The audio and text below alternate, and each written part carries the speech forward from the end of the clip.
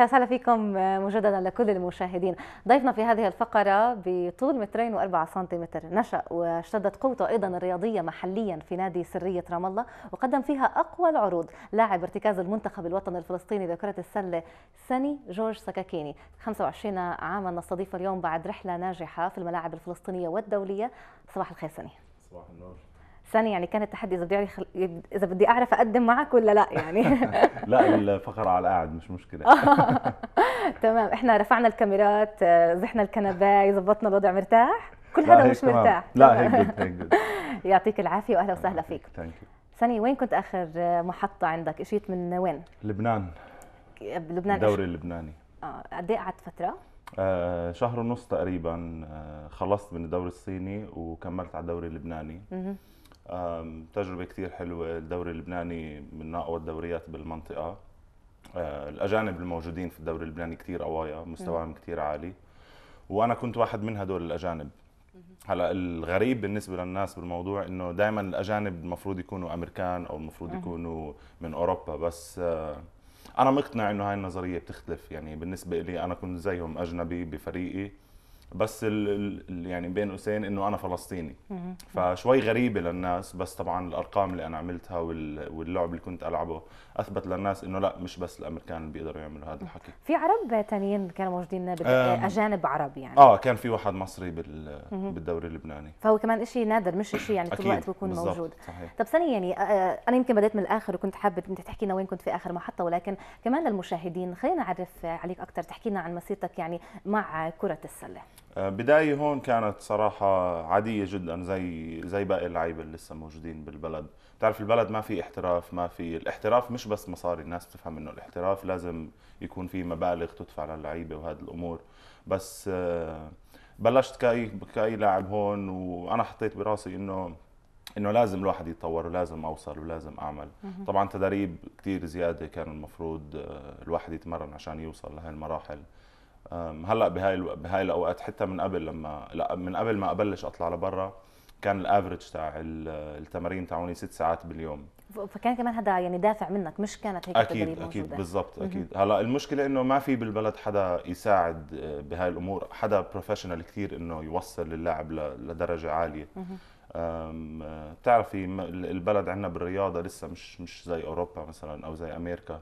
الاهتمام إنه الواحد وهو صغير بشوفوا شو بحب وببلشوا معه. وهذا آه، بيفرق كثير يعني. أكيد طبعا. يعني اللي بده يوصل لهي المراحل لازم يكون من هو صغير. يعني زي ما بيقولوا متمرن وعارف شو بيعمل وفي فوقه ناس مدربين وبيقولوا له شو يعمل. هذا الحكي أنا ما لقيته صراحة بالبلد لولا إنه أنا كنت بدي من جواي بدي أوصل وبدي أعمل. والحمد لله يعني طولك يعني بلشت. فيش مجال تعمل شيء ثاني طولك. بقول لك العب السلة أكيد.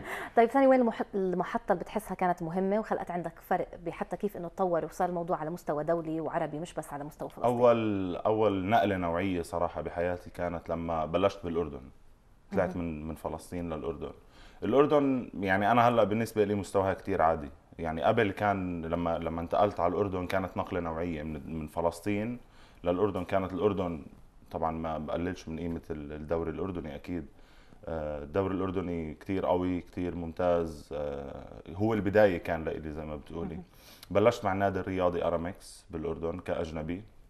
آه، كنت ألعب تحت سن 20 كنت ألعب مع مع الفريق الأول الرجال. قعدت تقريبا أربع سنين بال- بالأردن.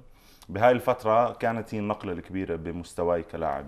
تطورت كلاعب ذهنيا وجسديا مهاريا بكل شيء بعدين آه، لأنه أجا- كان في مدربين لأنه كان في بالضبط هلا مش مش. الإشي الواو بس مقارنة بفلسطين كثير كثير الفرق يعني okay. موجود. آه ومن هناك بلشت طلعت على الصين أول مرة وبعدين طلعت على الصين ثاني مرة. بعدين رجعت كمان مرة على الدوري الأردني لعبت سيزون واحد. بعدين رجعت على على الصين كمان مرة رجعت آه، لعبت بالدوري.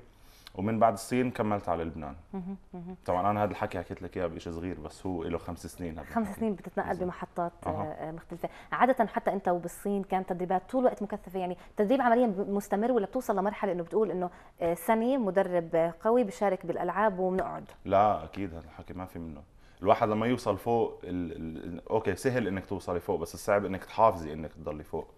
فاذا الواحد وصل لمرحلة معينة لازم يشتغل أكثر عشان يضل محافظ على هاي المرحلة. فعمليا لو بدك توصف لنا كيف كان عمليا يمرق عليك الأيام أو التدريبات بالصين؟ بالصين؟ آه من الأوتيل للملعب للملعب للملعب للأوتيل ولا شيء ثاني تدريبات مستمرة. تدريب كل صبح كل ليل وكان المباريات بالصين يعني مكثفة زيادة شوي. لأنه الصين كبيرة فإحنا كنا نسافر بالطيران بين كل جيم وجيم بالدوري. بيختلف عن أي بلد تاني بالعالم لأنه ممكن بالبلاد الثانية تروحي بالباص مثلا ساعة وتوصلي إحنا لأ كنا نسافر ساعتين وثلاثة بالطيارة غير التمارين طبعا صبح وليل المباريات كان عندنا ثلاث مباريات بالأسبوع فيعني كان كثير مكثف. كل الوقت. طول طول يعني طول ال season ال four months الاربع أشهر كانوا هيك يكونوا. طيب سني أنا عندي كثير من الأسئلة وخاصة إنه مثلا في جيل اللي هو مثلا في صغار موجودين بالسرية اليوم وأنا بالصدفة التقيت مع أكثر من حدا فيهم اللي بيعرفوا سني كثير منيح. وخلي لهم الموضوع هوس إنه يعني آه إنه بدنا نكون شاطرين بدنا نطلع برا البلد وهي فكرة مش يعني مش كثير صحية لأنه الناس كمان بتصير تفكر إنه يعني صحية أكيد الواحد بده يتطور وهذا كمان يعني العالم مفتوح وين الواحد بده يروح. بس قصدي وين بتشوف حالك اليوم بعد ما أنت مريت بهاي التجربة وحسيت قديش إحنا بنحتاج. وهلا أنت رجعت على البلد يعني بدنا نسمع كمان عن خططك بعدين. بس وين الفجوة؟ وين بتحس كمان إنه آه، في كثير ناس عم بيحبوا ال basket كثير بس صاروا حاسين إنه صح. بدنا زي فلان نعمل بدنا نروح نسافر عشان بدنا نرجع زي سني مثلا. أكيد. أه صراحة هي يعني عندنا مشكلة هون بلاقيها أنا بالبلد بالثقافة الرياضية شوي. آه، معناها إنه هم بدهم يوصلوا بفكروا إنه إذا بدهم يوصلوا مثلا بشو بيحضروا كل الناس NBA بفكروا إذا بدهم يوصلوا زي ال NBA لازم هلأ تيجي تقولي له خذ مليون دولار ونام بالملعب بتصير زي مايكل جوردن مثلا. لا القصة القصة كثير أصعب من هيك. يعني في مراحل الواحد لازم يمر فيها. بداية من طلاب المدارس لازم يكون في دوري مدارس قوي يهتموا فيهم للأولاد الصغار. الفرق اللي بيلعبوا فيها بالأندية سواء أي نادي كان على فلسطين بمستوى فلسطين آه، لازم يكون في لهم مدربين لازم يكون في لهم دوري منتظم على أساس إنه هذا اللاعب يقول أنا السنة الجاي بدي أعلي مستواي بهاي المرحلة هاي السنة الجاي بدي أعمل هيك وهيك بتتطور الأمور. آه، أنا أيامي كنت شوي محظوظ إنه إنه الاتحاد كان عم بيعمل بطولات كل أسبوعين مثلا والانديه كانت تعمل بطولات كل أسبوعين. فكنت أنا من وأنا صغير عم نلعب بطولات كثير عم نلعب مباريات.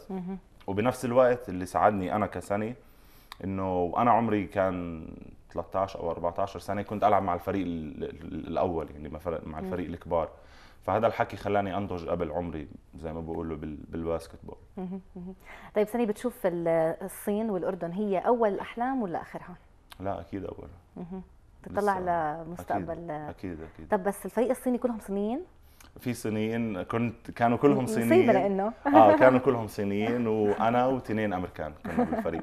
يعني في حدا أحكي معه آه في في بحس إنه في حدا غير الصينيين يعني آه ملعب صينيين وفي في ناس ثانية ما حدش بغطي عليهم. طبعا طيب دائما يعني لكل شخص بيبدأ في في هيك حلم وبيمشي سريع. يعني إحنا بنحكي على أربع خمس سنين كمان يعني صح أنت بتعيش يوم بيوم بس ولكن صح. كمان آه، من من من فريق بفلسطين لدوري الصين واليوم لبنان والاسم عم بيكون كمان معروف بين آه، دوريات في على مستوى عالمي. ففي أشخاص دائما بيشجعوا وفي كمان محطات وأمور دائما بتحبط. فاحكي لنا عن الأشخاص أو هاي التجارب. أه بحبش أدخل في موضوع اللي بحبطوا صراحة لأنه مشكلتهم مش مشكلتي. يعني أنا واصل واصل إن هم أحبطوني أو لأ مش رح أتأثر فيهم. بس اللي بيدعموا صراحة كتار يعني ما بديش أنساهم يعني بيساعدوني بكل شيء معنويا يعني كثير كثير مرات المعنوية كثير مهمة أهم من اللياقة الجسدية وهاي الأمور. فاهلي وأصحابي وكل الناس يعني هدول ما بنساهم أكيد لأنه هم اللي بوقفوا جنبي هم اللي بدعموني. في شعور وفرق إنه أنت دائما بتلعب في على أرض مش يعني مش بين جمهورك زي ما نقول؟ أكيد صراحة يعني أنا لما بلعب هون بحس بشعور بشعور ثاني يعني بكفي إنه الناس الواحد يلعب بين بين أهل بلده وبين بين أهله يشوفوه لايف يعني يشوفوه يتفرجوا عليه بالملعب. يعني كثير أهلي وأصحابي بيحضروني على التلفزيون بس مش مش زي ما لما الواحد يشوف إنه لاعب قدامه بيختلف الوضع. طب احكي لنا عن يعني لعبة هيك مؤخرا كانت أنت بالنسبة لك كانت مهمة أو يعني حتى فوز مهم أو آه آخر آخر لعبة صراحة بالدوري اللبناني انحطت على التلفزيون. كانت كثير مهمة كان فريقي آه إذا بنخسر بهاي المباراة رح ننزل على الدرجة الثانية وإذا بنفوز بنضلنا بالدرجة الممتازة. ففاز فريقي وكانت المباراة كثير حلوة ومهمة طبعا بالنسبة لإدارة فريقنا. عملوا احتفال كبير بعد المباراة وإنه ضلينا بالدرجه الممتازه كانت كثير ممتازة صراحة لإلي كإسم وللفريق. يعني إنه أنا قدرت أساعد الفريق طبعا مش طموحي إنه أنا بس أساعد فريق يضله.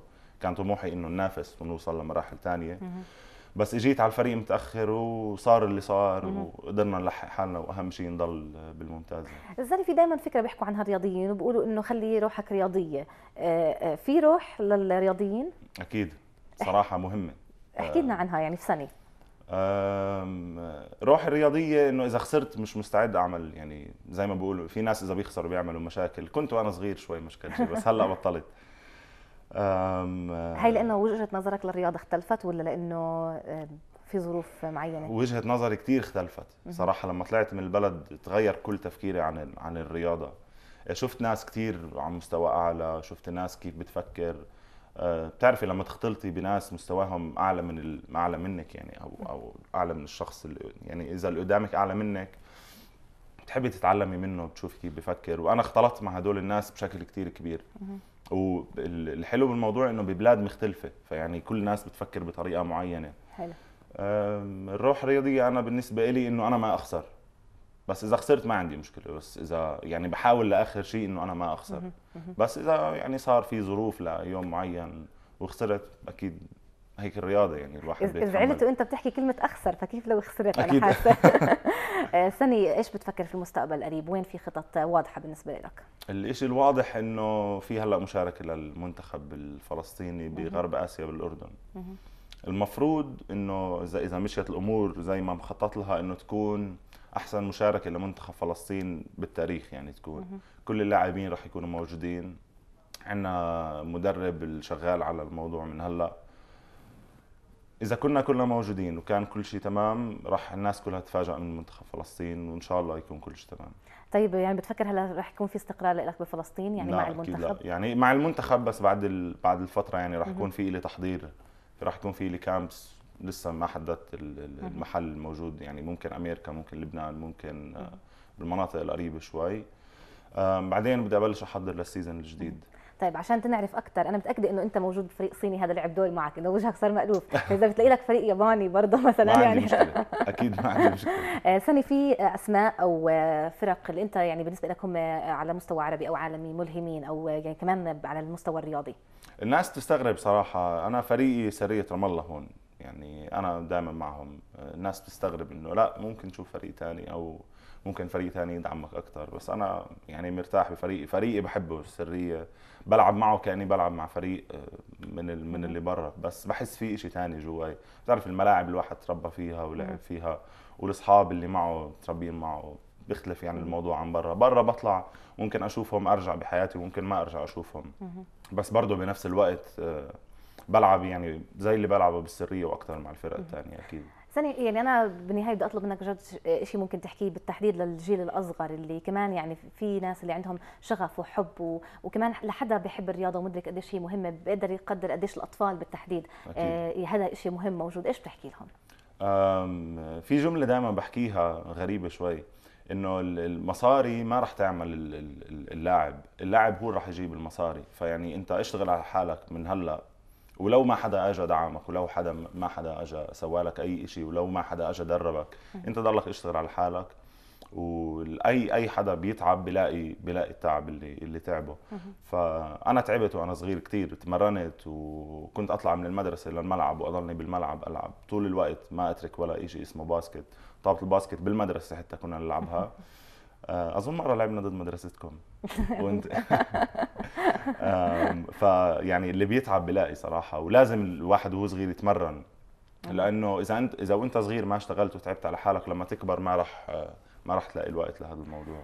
سنة يعطيك ألف عافية ويعني آه، عن جد كثير فخورين في هاي التجربة ويعني أنت بتستحق نحكي لك هذا الشيء لأنه أنت يعني كنت عصامي في التجربة يعني اعتمدت على حالك بشكل كثير كبير وأنا يعني هلأ بس أنت حكيت أنا بتذكر بس كان يكون في دوري الشهداء آه، بالسرية كنا كل ما يكون فريق صغير دائما متعودين إنه سني هو مع فريق مع فريق الكبار يعني هو كان يكون أطول حدا بس هو أصغر حدا عمرا يعني. فبتمنى لك كل التوفيق وقديش بسعدنا جدا إنه نشوف كمان في قصص تجارب ناجحة فلسطينية موجودة. أكيد أنا نفس الشيء برضه وإذا ما لقيت الشغل إحنا بتقدر تشتغل عنا تضبط الضواو يعني. ما, ما عندي مشكلة. ببلش من هلأ.